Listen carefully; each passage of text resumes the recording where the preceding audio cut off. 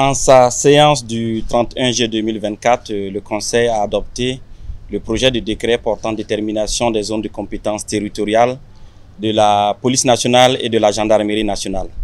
Il faut rappeler que euh, l'adoption de ce décret intervient en application de l'article 16 de la loi 032-2003 du 14 mai 2003 portant euh, sécurité intérieure.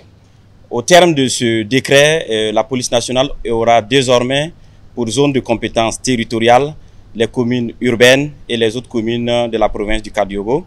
Et la gendarmerie nationale aura pour zone de compétences territoriales les communes euh, rurales. Alors, il est également prévu euh, le système de basculement dans ce décret, c'est-à-dire qu'à tout moment, en fonction d'un certain nombre de critères, notamment les critères liés à la criminalité, les critères liés euh, à la démographie et également à l'économie, la compétence territoriale d'une zone peut basculer d'une entité à l'autre. Alors, nous avons également prévu dans ce décret un certain nombre de matières que nous avons jugées de portée nationale. Ça veut dire que les différentes entités gardent toujours euh, les mêmes prérogatives euh, dans ces domaines. Il s'agit entre autres du renseignement, de l'intervention des unités spéciales, de la gestion de l'immigration, mais également euh, de la protection des hautes personnalités.